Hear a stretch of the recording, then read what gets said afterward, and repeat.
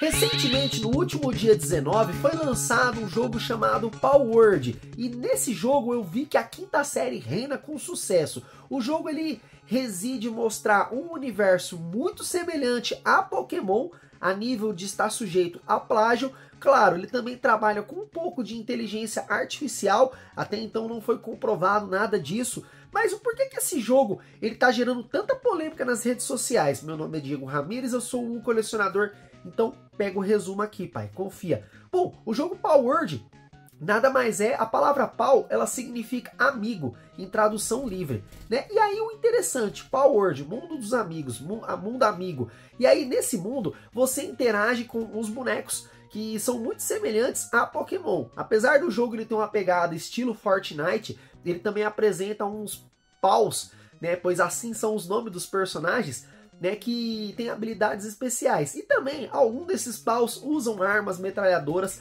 Resumindo na visão, ele é um Pokémon de metralhadora. É um Pokémon FPS.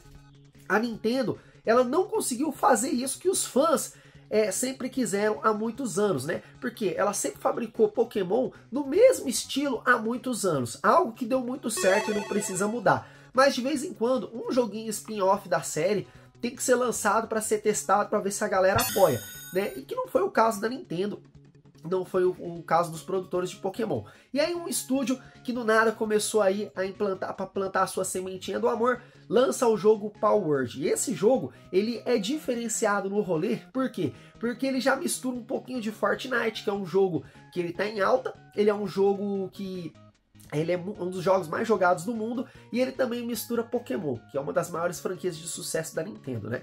E olha que Pokémon é um jogo que é doença braba, né? E aí surgiu-se a especulação que o jogo estivesse plagiando o Pokémon, pois muitos personagens é, são muito, mas muito semelhantes aos paus, né? E aí é, o jogo ele ainda vem com tradução em português. É, essa tradução aí, pai, foi o que pegou. Por quê?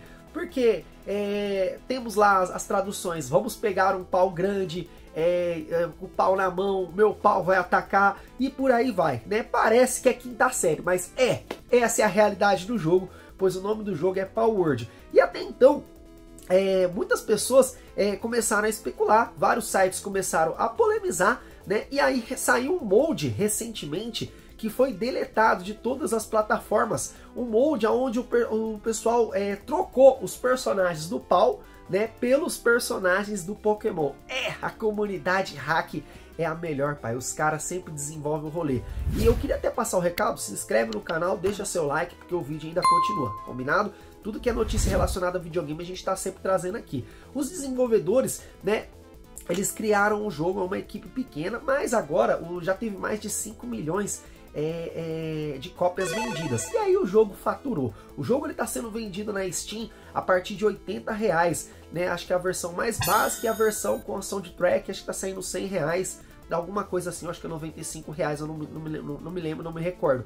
Mas ele é uma boa proposta para quem curte esse estilo de Fortnite, é, de, de, de, Pokémon. Por quê? Porque você joga com os Pokémon que atira, pai. É, tem uma gameplay diferenciada, tá? É, toda vez que lança um jogo novo, a galera sempre quer boicotar, né? O, o, o jogo Power World, ele é o primeiro jogo viral de 2024. Mas sempre tem uma galera que quer boicotar, né?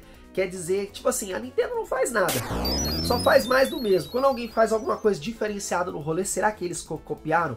Só que assim, existe também um outro detalhe os desenvolvedores do jogo, eles fizeram vários jogos, vários jogos não, vários personagens que são muito, mas muito semelhantes aos personagens de Pokémon. E aí a gente meio que fica naquela, né? E também foi especulado que os personagens foram gerados com inteligência artificial. Eu não vou lembrar o nome agora exatamente, porque assim, é, existem desenvolvedores, tá? Quando você vai criar um jogo, né, o cara que vai criar um jogo, ele não cria um jogo totalmente do zero. Geralmente ele compra packs de engine. Acho que não sei se é o nome correto, seria pack de engine.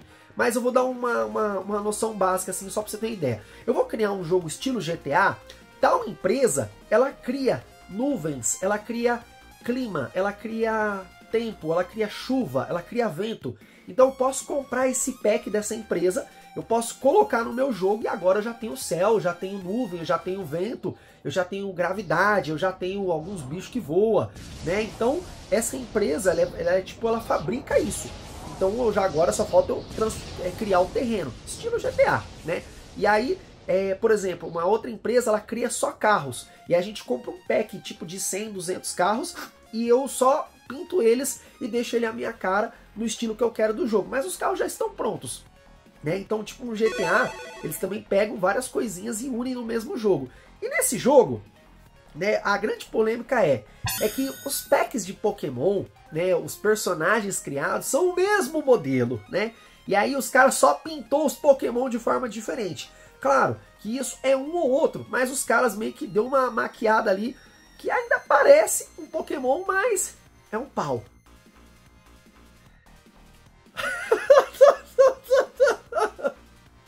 Meu Deus do céu, mano, não tem como não dar risada nesses vídeos. Os caras é tudo maluco. Bom, mas a ideia ficou bem legal, porque tem vários personagens diferenciados no rolê, e até porque é, muitos deles é, não tem nada a ver. E a galera quer especular, quer, quer dizer que, que são, é, que os mesmos Pokémon são os mesmos pau, e aí meio que, assim, tem a referência. Agora eu te pergunto, será que eles copiar, eles compraram essa engine 3D aí de do mesmo jeito que os caras compram carros para lançar dentro de um jogo? Será que os caras comprou um monte de Pokémon e só pintou? Às vezes colocou um braço, uma perna, uma asa, né? Aumentou o sorriso, a testa, o cabelo, só para não, não ficar parecendo muito com Pokémon?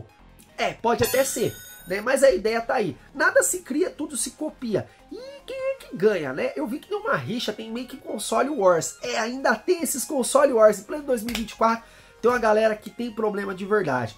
Ainda tem a galera que defende Sega, e ainda tem a galera que defende Nintendo, ainda tem a galera, aí tem a galera que defende Pokémon, e agora tem a galera que defende o pau. É.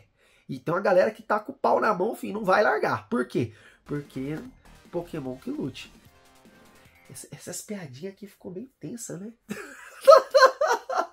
Mas, assim, eu, independente de se o jogo ele é uma réplica de Pokémon, ele é uma cópia, ele é um Pokémon evoluído, ele é tipo um Pokémon feito por fã, que era o que nós queríamos, um Pokémon que os personagens atiram, os personagens usam bazuca, ataca, contra-ataca, luta de verdade, né? Isso aí, eu acho que, na, no meu entendimento como jogador, eu acredito que nós da comunidade só temos a ganhar. Eu queria saber a sua opinião.